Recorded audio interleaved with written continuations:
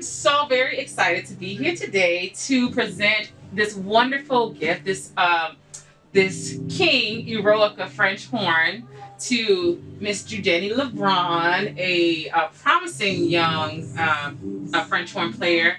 A gift on behalf of the Indictus, the Indictus Project. Um, this horn was gifted to you by the chairperson, um, Joseph Summer, and his wife, Dr. Lisa Summer. This is actually her horn. She played this horn from 1972 to 2017, and so I'm sure she is happy to be passing on the legacy of this horn to another female French horn player. And here you go. Also, um, you're very welcome. We'd also like to uh, give a special thank you to a very uh, wonderful anonymous donor who um, was instrumental in helping us to get this horn in playing position for you. Uh, someone who is very supportive of you and uh, wants to see you do well.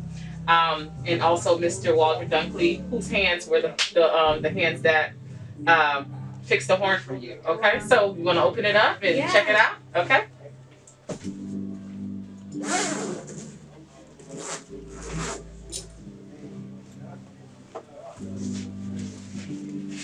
Oh wow. nice. Yeah, it fits. Yeah. Wow. Thank you so much. And to everyone who made that possible. Oh, you're very welcome. And I'm sure they will be happy to be following your career and seeing how far you go. So, and I hope this horn serves you well. Yeah, I'm wearing a mask, but I like smiling like crazy. awesome. So, Judeny, if it's okay, um, I'd love to just kind of um, ask you a few questions. Um, just like, just tell us a little bit about yourself. What school you attend right now? Um, um, what year you're studying? How long you've been playing French horn? Okay. Yeah, um, I'm currently attending University of Miami, and I'm a freshman. I just finished my first semester actually. Um, and I'm very excited to get this horn because I'm gonna be on campus next semester. Awesome. So it was perfect timing. I've been playing horn since my freshman year of high school. oh wow! So not even that long. Yeah, I know, four years. Wow. You're serious then? Yeah.